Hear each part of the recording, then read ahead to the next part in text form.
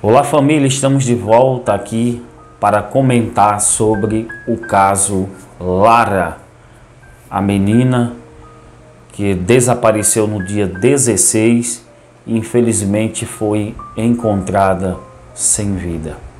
Temos mais informações sobre o caso, mas antes quero lembrar-lhes de deixar o seu like, se você ainda não é inscrito no canal, se inscreva no canal, ative o sininho das notificações. Se você não ativar o sininho, você não vai receber as notificações dos vídeos que são postados aqui em nosso canal. É importante por demais você ativar o sininho e deixar o seu like, tá bom? Gente, a polícia tenta descobrir Quem foi que cometeu este crime com a menina Lara de 12 anos de idade? Até então estava desaparecida, mas, mas foi encontrada por um jardineiro, um trabalhador é, jardineiro que estava ali na região de mata e acabou encontrando a Lara. A menina tinha saído de casa para comprar refrigerante, gente. Refrigerante. E que refrigerante foi essa que a menina não voltou mais com vida para casa? O mercadinho a qual Lara foi comprar refrigerante ficava perto da sua residência, perto da casa onde ela morava lá em Campo Limpo Paulista. Grande são Paulo, né, gente? Foi onde ela sumiu. O corpo é, foi encontrado pelo primo, gente, pelo primo dela, em uma área de mata. E a polícia está investigando o caso, tentando descobrir quem fez isso com a menina Lara. Gente, outra informação importante cedida pelo Cidade Alerta é que o tio da garota, né, é, de Lara, foi solto um dia antes do desaparecimento da mesma.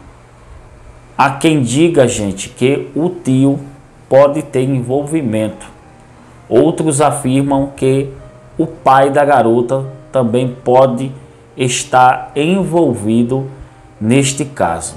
Eu não acredito muito nisso, porém, podemos esperar qualquer coisa, gente, do jeito que o mundo vai, do jeito que as pessoas estão cada vez mais entrando por este caminho errado, a gente não pode duvidar de nada. Porém, gente, eu não quero acreditar que o tio e o pai da garota tenham culpa nisso, mas a polícia está investigando o caso a fundo, galera.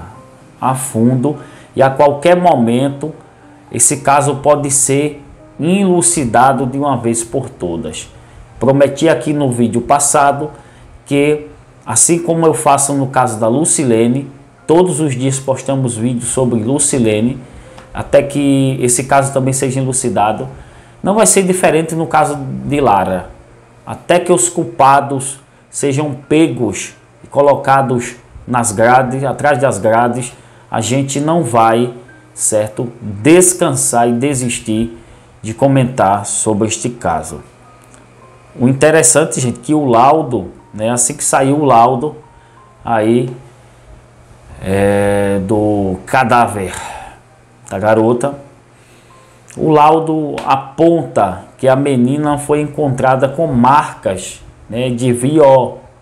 Não posso completar o resto por conta das diretrizes da comunidade, né, com marcas em seu corpo e pode ser que ela também foi é, recebeu algum tipo de agressão ali.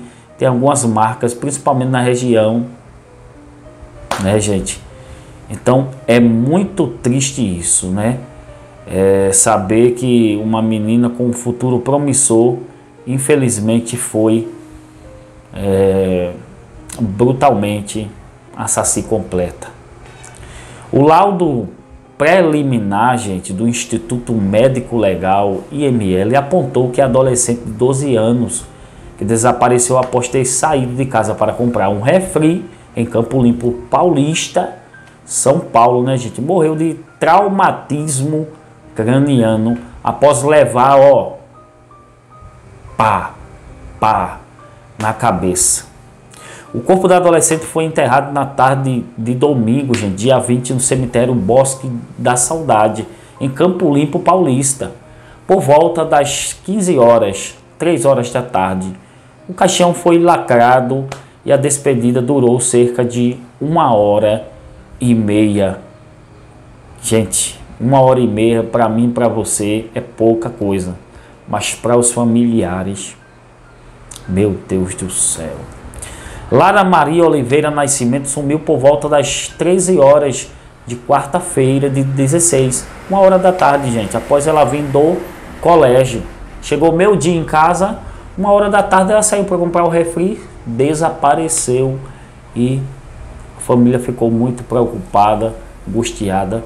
Felizmente o resultado foi este aí. De acordo com o delegado Rafael Diório, o corpo foi encontrado com marcas de viol Abre aspas, o estado em que o corpo foi encontrado bate com a data em que ela desapareceu.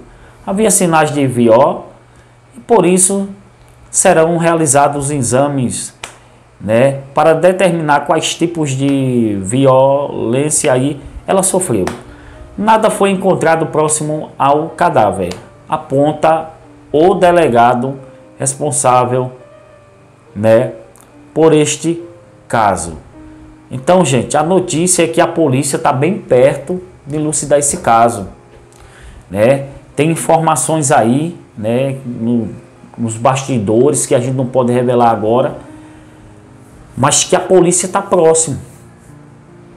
E o pai da garota acredita, mesmo sendo julgado por muitas pessoas, tem pessoas dizendo que foi o pai da garota, mesmo ele sendo julgado, ele acredita que é alguém conhecido ali, gente, ó, do meio familiar. Ali, não tem amigos mais chegados que um irmão, tem amigos que a gente confia colocar dentro de nossa casa, né? Porém, gente, a gente não conhece o coração de ninguém. A pessoa pode dar uma de amigo ali e depois é, tá com algum pensamento maldoso. Então, eu não vou muito nessa onda. Porém, gente, eu não acredito que o culpado seja o pai. O tio, eu não posso dizer nada. O tio estava preso e saiu da prisão um dia antes. Olha que coincidência. Um dia antes do tio ter saído da cadeia, no outro dia aconteceu isso com Lara. Então, a polícia com certeza está na cola desse tio. Inclusive, gente, as informações que chegaram aqui é que a polícia está ouvindo todo mundo da família. Começando pela família da Lara, todo mundo está prestando depoimento na delegacia para o delegado e o delegado está fazendo um brilhante trabalho no caso de Lara. Eu espero que, como Lara, o caso de Lucilene também seja investigado com a mesma intensidade para que o caso da Luz também seja elucidado o mais rápido possível. Então, gente, assim que a gente souber aqui é, quem é o culpado de fato, a gente vem aqui com notícias verídicas, gente. Aqui a gente não trabalha com mentiras, aqui as notícias são verídicas. E nós estamos acompanhando aqui, gente, ó, pelo, pelo site, tá bom? Pelo site. Então aqui, certo? Não é eu que estou inventando, tá? Estamos colhendo notícias aí e trazendo para vocês, vocês que é, às vezes até não tem tempo de estar com o aparelho celular, estar sendo informado do assunto. Então a gente vem aqui. Por isso que eu peço seu like, deixe seu like, compartilhe muito esse vídeo, se inscreva no canal, ative o sininho das notificações, que é muito importante. A polícia está ouvindo os familiares. O tio da garota foi solto um dia antes de tudo acontecer. Ó, tudo leva a crer, né? E o negócio está indo apertando para o lado do tio, porque é muita coincidência. Saiu num dia, no outro a menina sumiu. Então, há quem diga que é o tio tem uma copia no cartório. Não temos certeza e não estamos aqui para julgar ninguém, tá bom, gente? Então, qualquer momento voltaremos com mais notícia. Fique com Deus e até o próximo vídeo. Muito obrigado por tudo.